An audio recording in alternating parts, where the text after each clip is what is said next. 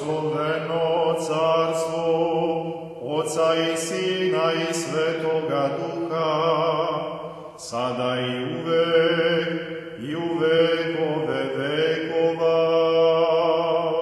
Bogoslužbene osobenosti velikih praznika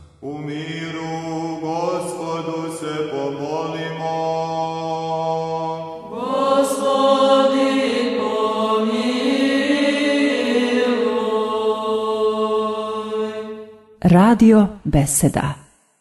Την άχραν των εικόνας σου προσκύνουμε αγαθέ ετουμένη συγχώρηση των τέσματων ημών. Χριστέ ο Θεός βούληση χάρη βδόκησας σαρκή ανελθήν εν το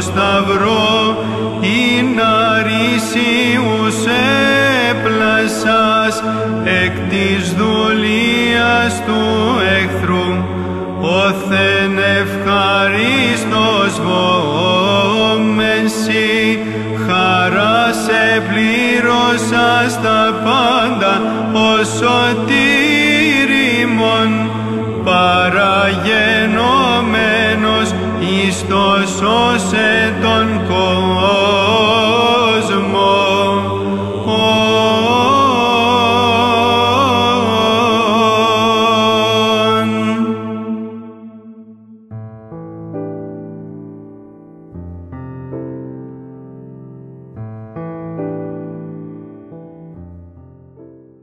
Braćo i oci, kao što svako dobro delo na početku biva teško, tako je i početak sve te četrdesetnice doneo izvesno otežanje zbog promene načina ishrane i usložnjavanja crkvenih službi.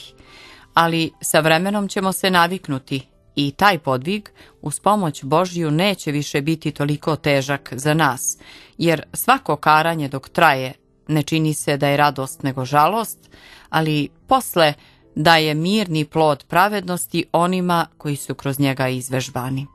Tako i sada nama naš podvig izgleda težak, ali teškoće će proći, a mi ćemo se ispuniti velikom radošću kada doznamo kakvu je korist našoj duši donelo uzdržavanje. Pod pokrovom blagodati Božije mi smo proveli jednu sedmicu posta, budimo stoga još usrdniji u ostalo vreme četrdesetnice, jer usrednost daje snagu i duši i telu, teško čini lakim i neprijatno prijatnim. Lenost pak i nerad naprotiv, ono što je lako čine teškim i ono što je prijatno čine neprijatnim.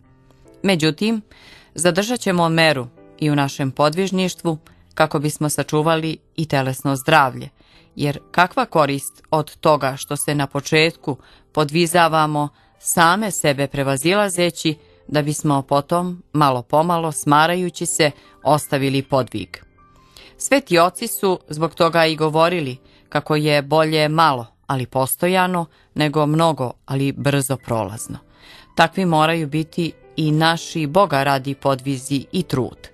U toku dugog dana čovekom može nejednom ovladati malodušnost, stoga moramo misliti samo na ono što hrani i teši dušu, na božanstveno, u čemu su sladost i veselje i ne dozvoliti našem umu da se zanima grehovnim naslađivanjima.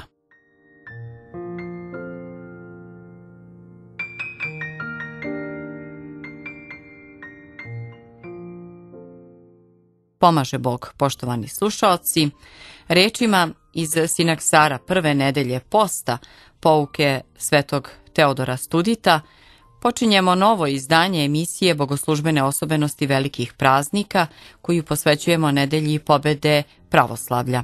Na navedenu temu razgovaramo sa autorom emisije, katihetom Branislavom Ilićem. Branislave, pomaže Bog. Bog vam pomogao i eto, uz pomoć Božju dolazimo do prve nedelje velikoga posta koja zahteva našu podrobniju pažnju kako o samom spomenu ove nedelje, dakle ovog nedeljnog dana, tako i o bogoslužbenim e, osobenostima koje su prisutne e, konkretno za ovaj nedeljni dan, jer smo e, imali priliku da u okviru emisije Bogoslužbene osobenosti velikih praznika govorimo posebno o bogoslužbenim osobenostima velikoga posta i naši uvaženi slušalci su imali priliku da poslušaju tu emisiju i da se upoznaju sa vaskolikim bogoslužbenim pravilom uh, koje je sadržano u danima Svete četrdesetnice, odnosno Velikoga posta. Uh, mi se sada nećemo ponavljati u tom pogledu, uh, već ćemo svoju pažnju usmeriti konkretno na ovaj nedeljni dan, dakle na nedelju pobede pravoslavlja, trudeći se da istaknemo one osnovne detalje kako o samom spomenu koji se tiče jedne, rekli bismo, e, istorijske dimenzije, ali sa druge strane i dimenzije koja nas postiče da e, ojačamo svoju veru u ovim danima velikoga posta, već na početku crkva podstiče kroz ovaj nedeljni dan, dakle pojačanu veru, već u narednoj nedelji i u narednoj emisiji samim tim govorit ćemo o Svetom Grigoriju Palamiju i Sihazmu, o značaju molitve i tako dalje. Dakle, svaka emisija, kako je to bio slučaj sa emisijama koje se tiču pripremnih nedelja za svetu četrdesetnicu, tako je i slučaj sa ovim nedeljama, svaka nedelja ima svoju pouku, poruku koju ćemo mi uh, istaći, ali eto, želja mi je da u uvodnom delu emisije uh, podsjetim da post sam po sebi nije sazdan i stvoren uh, da bi ubijao telo, kako su neki pogrešno mislili, već da bi ubijao strast u nama.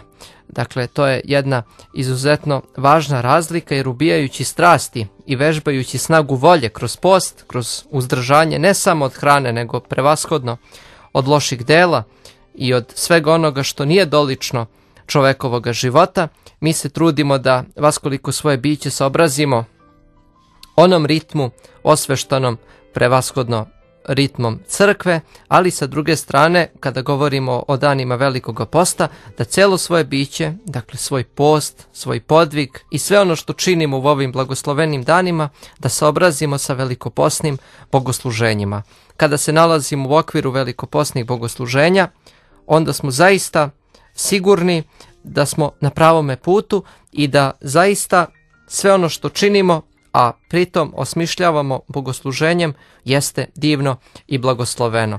Dakle, jedna mala smernica, prevashodno sebi samome, ali i našim poštovanim slušalcima, kada je reč, dakle, ovim prvim koracima svete četrdesetnice, da znamo da je velikoposno bogosluženje, kako sam to negde i, i napisao, e, jedno bescen blago koje nam je darovano. I zato tako trebamo i da ga poimamo, ne samo kao neko puko molitvoslovlje ili kao neku puku naviku našeg odlaska u hram, nego da tu nađemo suštinu i liturgije pređosvećenih darova, ali i e, velikoposne molitve svetog Jefrema Sirina koja nudi pregršt i pouka i smernica, ali i činjenje metanija i, velikog pokajnog kanona svetog Andreja Kritskog koji je slobodno mogu reći i nazvati ga duhovnom poetikom ovih dana.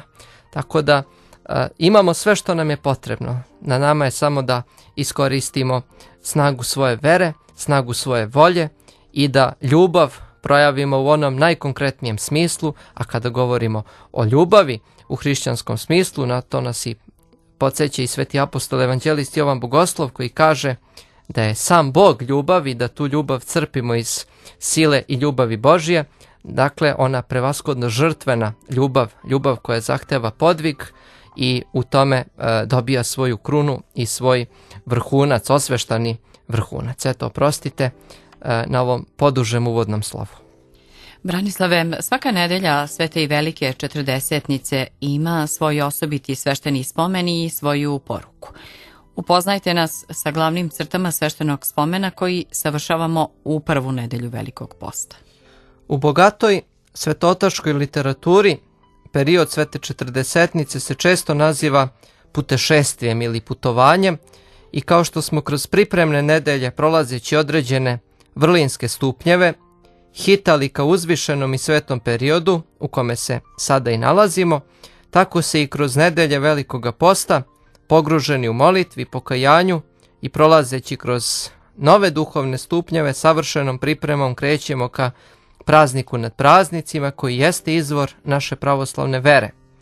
Dakle, prva nedelja Velikoga posta posvećena je spomenu pobede pravoslavlja nad ikonoborstvom. Savršavanje ovog molitvenog spomena potiče iz vremena Vizantije, dakle 9. vek, a, a nastala je u znak sećanja na konačnu pobedu pravoslavne vere nad svim jeretičkim učenjima, osobito nad ikonoboračkim, koje je osuđeno i na 7. Vaseljanskom saboru 787. godine. Dakle, u ovaj nedeljni dan sećamo se i značajnog vraćanja ikona u svete hramove za vreme blagoverne i hristoljubive carice Teodore i carigradskog patrijarha Metodija, e, to se zbilo 843. godine e, i navedene godine sastavljen je i poznati spis pod nazivom Sinodik ili Sabornik pravoslavlja koji su ovaj dan, e, dakle od tada pa do danas čita u svim našim hramovima. I u pomenutom Sinodiku između ostalog je napisano Ko je Bog veliki kao Bog naš? Ti si Bog naš koji jedini činiš čudesa. One koji su se rugali tvoj slavi, ti si ih ismejao. Ponizitelje tvojih ikona i one koji su napadali tvoj lik pokazao si da su otpadnici i hulnici. Zato smo blagodarni Bogu i pobedi gospoda nad ovim protivnicima. Borba protiv ikonoboraca i lukavstvo ima drugi uzrok i bit će izloženo, odmarajući se posle prelaska pustinje, zadobivši duhovni Jerusalim kao odgovor na Mojsijevsku zapovest ili bolje na božanski poziv na ploči velikoga kamena koje je pripremljena na primi pismo, smatrali smo da je pravedno da ga zapišemo u srcu naše braće i blagoslov za one koji drže zapovesti i prokledstvo onima koji ih prestupaju. Dakle, ovaj sinodik je e, veoma kompleksan uh, i sadržajan, dakle i tekst i čin koji se savršava u našim hramovima. Uh, ja ću samo iskoristiti priliku da uh, podsjetim da je za bogoslužbenu upotrebu ovaj sinodik priredio blaženo počivši episkop Žički Hrizostom koji je sačinio jednu knjižicu sa celokupnim činom i ta knjižica je dostupna do dana današnjega nama na bogoslužbenu upotrebu. On je to zaista lepo sačinio sa brojnim rubrikama, sa brojnim objašnjenjima, pa eto, toplo preporučujem poštovanim slušalcima da se potrude da nabave to posledovanje, taj čin koji vaistinu jeste, služi se samo jednom godišnje, ali je izuzetno važno i značajno da mi kao pripadnici crkve znamo tu bogoslužbenu osobenost i da pročitamo taj tekst uh, sinodika, osobito što naša emisija uh, zbog vremenske ograničenosti ne dozvoljava da sad celu emisiju uh, pričamo samo o tome, ali eto koristimo priliku da u okviru pobrojavanja bogoslužbenih osobenosti da pomenemo i sinodik pravoslavlja. Branislave, šta nam poručuje himnografija ovog nedeljnog dana? Oslanjajući se na pročitane evanđelske priče u ovaj nedeljni dan, himnografija takođe naglašava važnost nepokolebive vere koju trebamo imati. Tako u jednoj stihiri slušamo, Gospode, duhom tvojim proroci predskazali su kao dete od neiskusobračne rođenog, tebe nedostižnog i prejutarnje svetlosti večno javljenog iz netvorne duhovne utrobe očeve. Ti si sa ljudima bio sjedinjen i vidljiv onima na zemlji. U milosrđu tvome, sa prorocima u dostoji Tvoga prosvetljenja i nas koji pevamo časnom i neizrečenom Tvome vaskrsenju. Druga stihira nas podsjeća na ovaploćenje Boga Logosa, koji se nas radi očovečio i postao vidljiv, te ga zbog toga podpomognuti apostolskim predanjem izobražavamo i slušamo u drugoj stihiri. Neopisivi gospode, U poslednja vremena blagoizvoleo si da se ovaplotiš i budeš opisan. Primio si telo i sva svojstva njegova. Uzeo si, oslikavajući obličje tvoje u ljubavi ga celivamo. Sledujući božanstvenom apostolskom predanju, uzdižemo se ka ljubavi tvojoj i primamo blagodat isceljenja. Važno je spomenuti da je u prvim vremenima ova nedelja bila posvećena uspomeni na svete proroke Mojseja, Arona i Samuila. U današnjoj himnografiji ovog nedeljnog dana sačuvano je molitveno pominjanje svetih proroka, što je svakako jedan vid ostatka iz ove drevne službe koju upravo i spominjem. Prema drevnom bogoslužbenom predanju svim katedralnim hramovima, dakle kada kažem katedralni mislim na saborne hramove, nakon posebne zamvone molitve služi se molebni kanon u nedelju pravoslavlja za obraćanje onih koji su zabludeli i otpali od pravoslavne blagočestive vere. I po strukturi ovaj čin možemo karakterisati kao molbeno blagodarstveno pjenije. U sastavu ovog molebnog posledovanja predvođeni episkopom, prezviteri, đakoni i sav sabrani narod Boži, noseći u rukama svete ikone, litijski izlaze iz hrama, u spojanje određenih tropara čine obhod oko hrama i litiju kroz grad. Kada se nakon litijskog obhoda svi ponovo vrate u hram, na amvon se postavljaju nalonji na koje se polažu svete ikone i posle velike jektenije poju se sledeći tropari koje ću prepustiti vama da ih predočite. Tebe, gospode, slaveći mi nedostojne sluge Tvoje, zahvaljujemo na Tvojim velikim dobročinstvima, nama darovanim, hvalimo, blagosiljamo, pevamo, veličamo i blagodarimo na Tvojoj blagosti i kao sluge kličemo Ti sa ljubavlju, spasitelju naš i dobrotvore, slava Tebi. Slava, glas treći. Kao beskorisne sluge, koje su besplatno primile Tvoja dobra i darove, Vladiko, iskreno pribegavamo Tebi i prema našim moćima blagodarenja prinosimo slaveći Tebe kao svog dobrotvora i stvoritelja i glasno kličemo slava Tebi, sve milostivi Bože. I sada i uvek glas četvrti. Gospode, Ti koji si život i vaskrsenje svih, učvrsti ovo stanište zauvek kao što si utvrdio svod višnjega i pokazao lepotu ovog svetog stana slave Tvoje ovde dole i primi molitve koje Ti neprestano prinosimo posredstvom Bogorodice. Nakon svetopisamskih čtenija i sugube jaktenije, arhijerej čita sledeću molitvu. Bože svevišnji, sazdatelju i ureditelju sve tvari, koji si sve ispunio svojim veličanstvom i održavaš sve svojom silom. Tebi, našem najdarežljivijem gospodu, prinosimo blagodarenje iako smo nedostojni jer se ti nisi odvratio od nas grehova naših radi, već si nas preduhitrio svojom samilošću.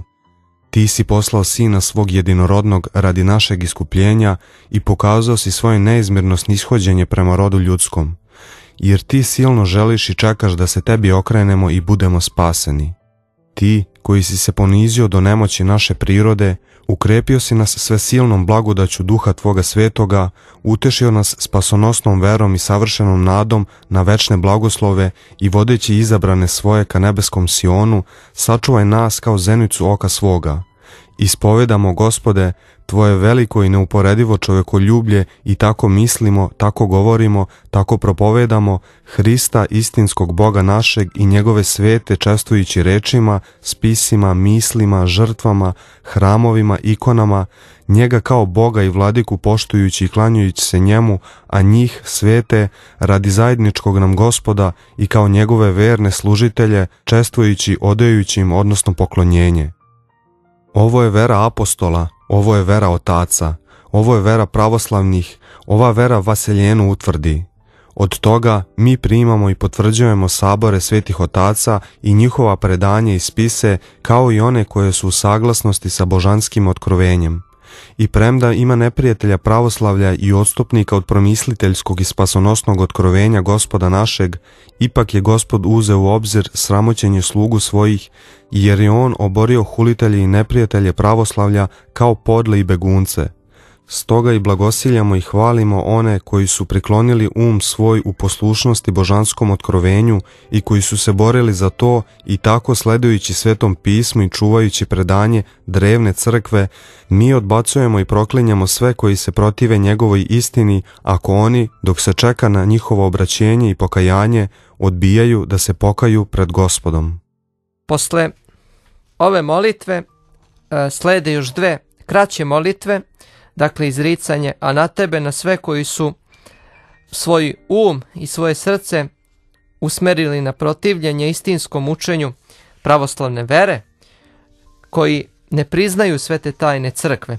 Potom se uznose blagoslovi za sve one koji žive u pravoj i blagočestivoj veri pravoslavnoj i koji su poslušni volji Božjoj i volji crkve njegove. I arhijerej ovaj molitveni čin završava molitvom blagoslova. Presveta Trojice proslavi sve ove i utvrdi ih u pravoj veri sve do kraja i obrati podrivače i hulitelje pravoslavne vere i Hristove crkve koji su od nje okrenuli sebe, da bi svi mogli da poznaju tvoju večnu istinu zastupništvom presvete naše vladičice Bogorodice i svagda Djeve Marije i svih svetih tvojih.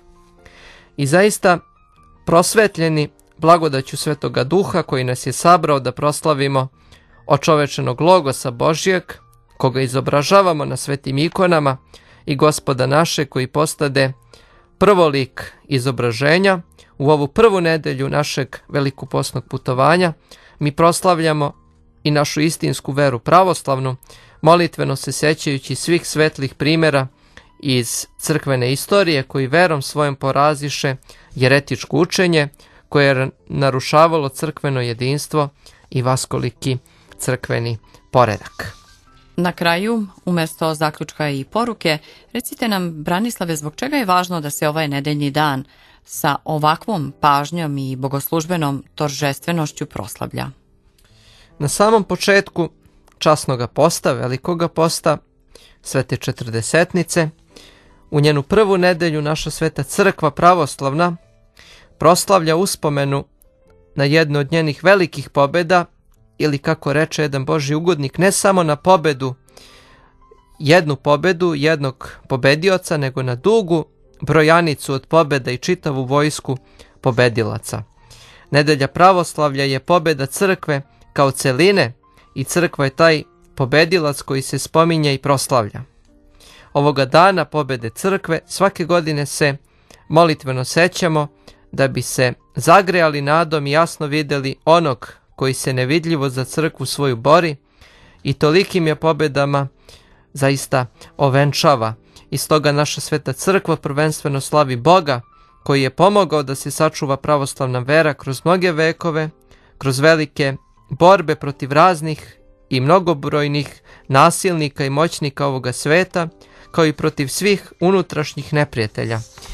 Crkva je kroz vekove uvek bila vojnstvujuća, stalno se borila i branila se, podnoseći velike žrtve i prolivanje nevine krvi, ali sa druge strane trpeći neopisive muke.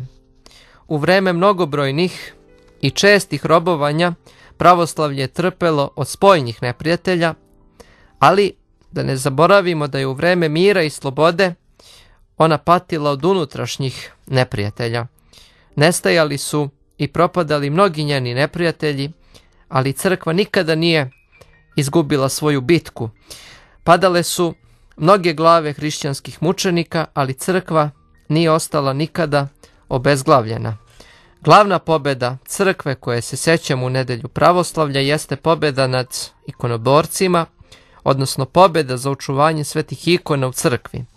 Borba za očuvanje ikona u crkvi trajala je skoro dva veka. Kao unutrašnji neprijatelji pravoslavlja, ikonoborci su veliku štetu nanosili crkvi, ali najopasniji među njima bili su oni koji su u svojim rukama držili svetsku ili crkvenu vlast. U besnilu duše svoje izbacivali su ikone iz svetih božih hramova, bacali ih u more, lomili ih i spaljivali. To su činili i sa moštima svetitelja i apostola.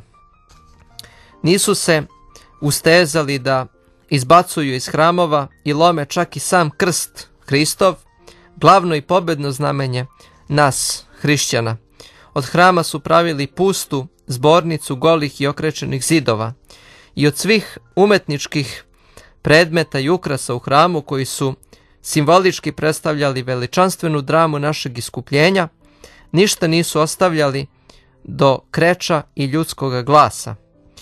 I crkva je predstavljala praznu grobnicu u kojoj se bedna duša ljudska osjećala i osamljena i bespomoćna, boreći se da se sama, dakle bez ičije pomoći uzdigne iz prašine zemaljske do beskrene visine Božijeg prestola na nebesima, odnosno do vrha carstva večnosti. I protiv ovakvog bezumnog pustošenja i osiromašenja hramova hrišćanskih ustali su svi veliki i nadahnuti duhovnici u prostranom carstvu Vizantijskom, a kasnije i u drugim carstvima hrišćanskim.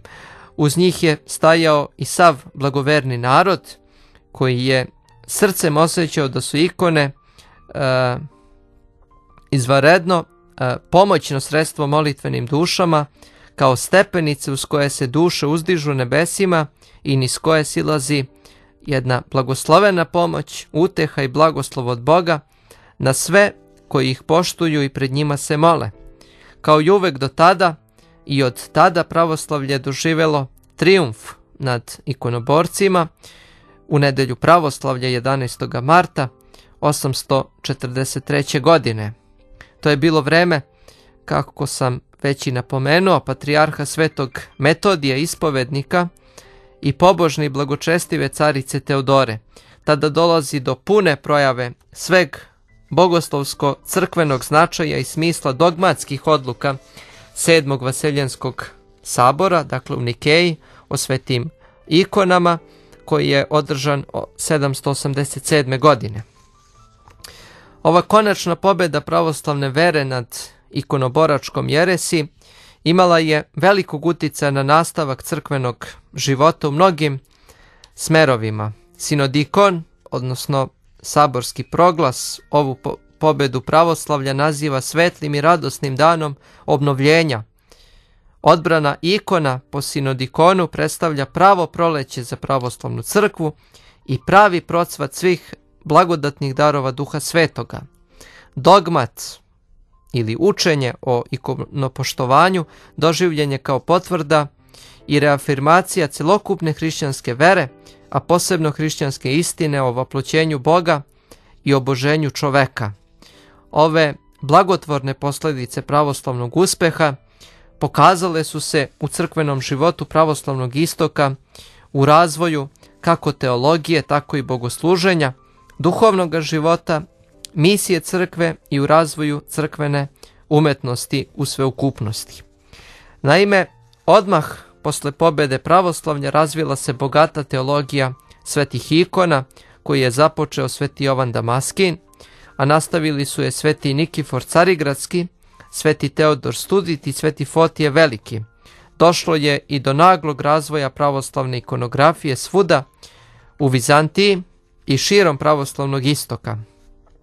Veliki je bio i razvoj crkvenog kulta, dakle bogosluženja, a posebno crkvenog liturgičkog pesništva, himnografije, i tada se pojavljuju mnogi monasi kao nadahnuti crkveni himnografi, liturgijski tvorci ikona i drugih crkvenih pesama. Takvi su bili braća Teodor i Teofan načertani, Josif himnograf i Teodor Studit. I baš u to vreme dolazi i do konačnog oformljenja oktoiha, ili kako ga još nazivamo osmoglasnika, u upotpunjenoj, e, dakle koji je tada bio upotpunjen brojnim posledovanjima velikih i malih, malih praznika, dakle u Mineju, ali i paskalni ciklus sveštenoga bogosluženja. Pravoslavlje je u nedelju pravoslavlja doživelo zaista veliku pobedu, vremenom i u vremenu živimo pravoslavljem i stalno pobeđujemo pravoslavljem, jer kako se veoma lepo kaže u Svetome pismu, sve što je od Boga rođeno pobeđuje svet, ovo je pobjeda koja pobeđuje svet, vera naša. I zaista ove reči neka bi bile i zaključak ove naše današnje emisije, da se stalno pominjemo da živimo predokušavajući i ubirajući, slobodno mogu reći, plodove pravoslavne blagočestive vere i da nam ona zaista bude temelj u ovim velikoposnim danima, e, dakle da prigrlimo tu veru i da zaista e, blagodarimo gospoda onom divnom pesmom tebe Boga hvalimo, tebe Boga ispovedamo, dakle da blagodarimo Bogu na sve i za sva i da svagda vođeni i rukovođeni tom i takvom delotnom verom, ljubavlju, ispunjenom verom, ispunimo ljudsko naznačenje i ljudsku meru e, života, a ljudska mera, istinska ljudska mera našega čovečanskog života jeste da da ispunimo one reči svetoga Atanasija koji kaže da se Bog ovoplotio da bi se čovek obožio. Ovim rečima katihete Branislava Ilića privodimo kraju ovo izdanje emisije Bogoslužbene osobenosti velikih praznika koju smo posvetili prvoj nedelji Svete četrdesetnice koju nazivamo Nedeljom pobede pravoslavlja. Rečima zamvone molitve ovog nedeljnog dana završit ćemo današnju emisiju.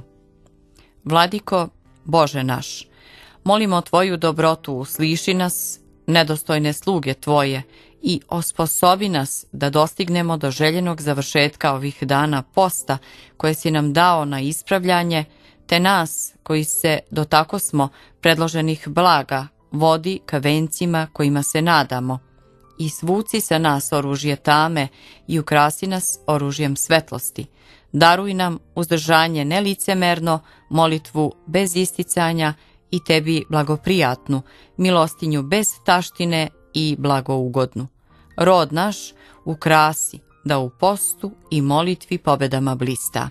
Milosrđem jedinorodnoga sina tvoga, sa kojim si blagosloven, sa jedinim, presvetim i blagim i životvornim tvojim duhom, sada i uvek i u vekove vekova. Amin.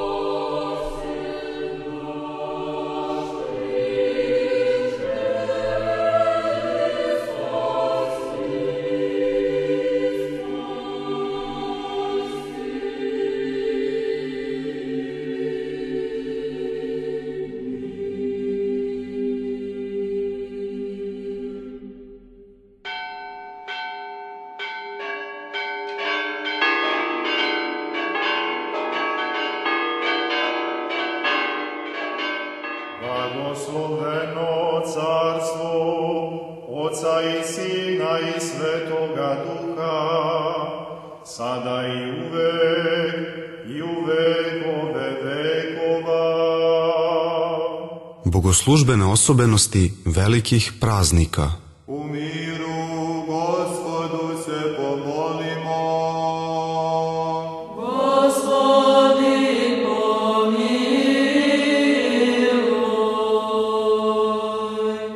Radio Beseda